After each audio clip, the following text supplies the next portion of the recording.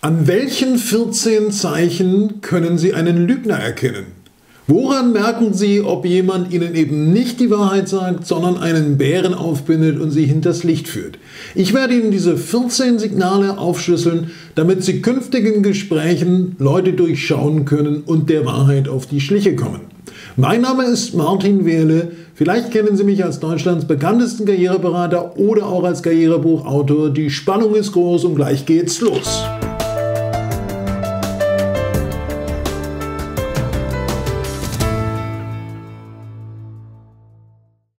Hier bin ich wieder und jetzt kommen die 14 Zeichen, an denen Sie einen Lügner erkennen können. Zeichen Nummer 1. Lügner verwenden sehr gerne Formulierungen wie ehrlich gesagt oder ungelogen. Da gibt es Studien darüber, die zeigen, wer solche Begriffe verwendet, wer betont, dass er die Wahrheit sagt, der hat gute Gründe dafür, nämlich oft ist er am Lügen. Zweites Erkennungszeichen.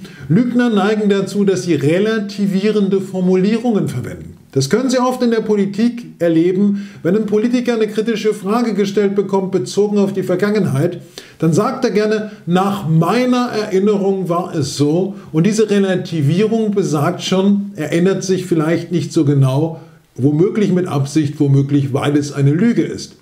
Dritter Punkt. Vermiedene Ich-Formulierungen sind auch ein Zeichen, das auf Lügen hindeuten kann.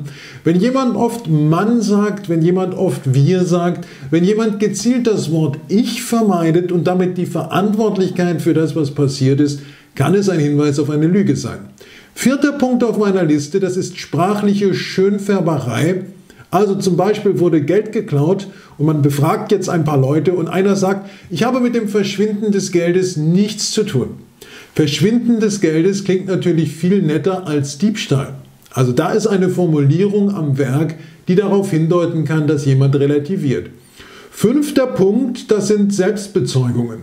Oftmals sagen Menschen, wenn sie in einer Rechtfertigungssituation sind, ja, ich habe ja schon nachgewiesen, dass ich zu dem Zeitpunkt, wenn jemand sich selber der Zeuge ist, wenn jemand sagt, er habe etwas nachgewiesen, es sei einwandfrei erwiesen, dass er dann hat er offenbar keine anderen Zeugen und dann kann das darauf hinweisen, dass es mit der Wahrheit nicht so genau genommen hat. Sechster Punkt, das ist ein wichtiger Punkt, das ist die Diskrepanz zwischen Wort und Körpersprache.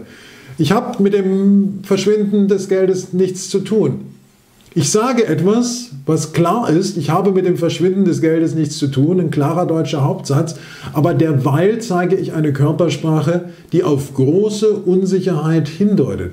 Wann immer jemand in den Worten anders spricht als mit dem Körper, ist etwas mit ihm im seelischen Gleichgewicht nicht in Ordnung. Und der Grund kann natürlich sein, dass derjenige in dieser Situation lügt. Denken Sie bei Menschen, die Sie lange kennen, auch immer daran, wie Ihre normale Körpersprache aussieht. Wenn die Körpersprache abweicht und wenn es da eine Diskrepanz zwischen Wort und Körpersprache gibt, kann es ein Hinweis auf eine Lüge sein.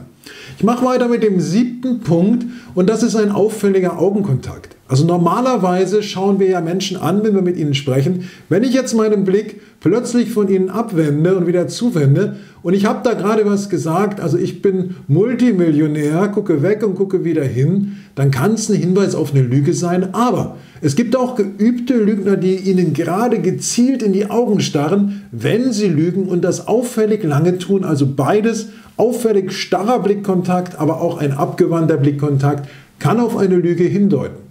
Jetzt komme ich auf den achten Punkt zu sprechen. Das ist ein bestimmtes Signal der Körpersprache und zwar eine unbewusste Zurücknahme. Ich sage also etwas über mich, ich habe mit dem Diebstahl nichts zu tun und fahre derweil an den Mund, so als wollte ich die Worte zurückhalten. Die Handbewegung zum Mund ist eine typische Geste, die im Verhör bei Menschen auffällt, die eben nicht die Wahrheit, sondern die Unwahrheit sagen.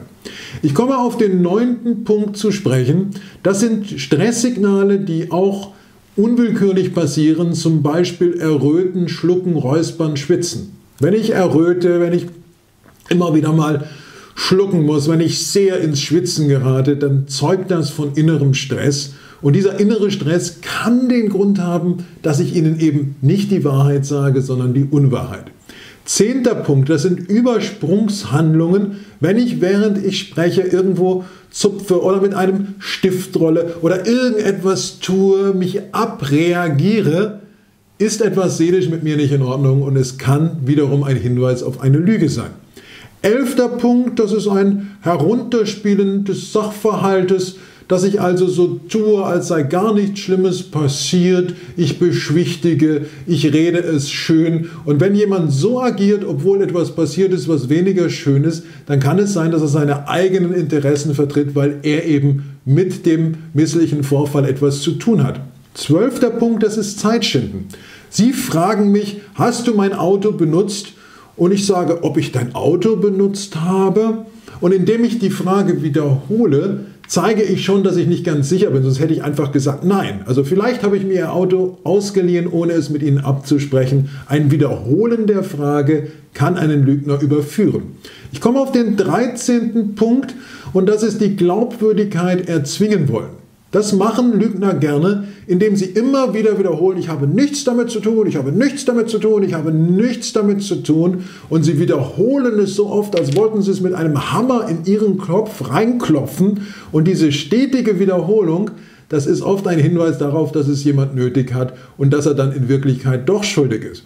Jetzt kommt noch der 14. Punkt, den ich auch sehr interessant finde. Und zwar Details an den falschen Stellen und Lücken an den wichtigen. Also wenn Sie jemanden zum Beispiel fragen, ob er im Verlauf eines Tages etwas Schlimmes getan hat und Sie konfrontieren ihn konkret mit einem Vorwurf und er erzählt Ihnen ausführlich, was er an diesem Tag gefrühstückt hat, was er danach getan hat, aber dann auf einmal, wenn es um die betreffende Zeit geht, wo was passiert ist, da wird das sehr ungenau und da wird das sehr schwammig. Das wiederum können Anhaltspunkte für eine Lüge sein. Jetzt möchte ich Ihnen eine Warnung mit auf den Weg geben. Es reicht natürlich nicht, wenn ein paar dieser 14 Punkte erfüllt sind. Das passiert auch mal im Gespräch einfach so. Aber wenn Sie merken, es gibt eine auffällige Häufung solcher Signale, dann ist es sehr wahrscheinlich, dass Sie es mit einem Lügner zu tun haben und dann sollten Sie alles tun, diesen Lügner zu überführen. Wie man das macht, vielleicht werde ich dazu auch mal ein Video drehen. Ich freue mich, wenn Ihnen das Video gefällt, dass Sie den Daumen nach oben weisen lassen, dass Sie den Kanal abonnieren, dass Sie es teilen, dass Sie Playlists anlegen und am meisten freue ich mich, Sie hier wieder zu sehen. Ihr Martin Wehle.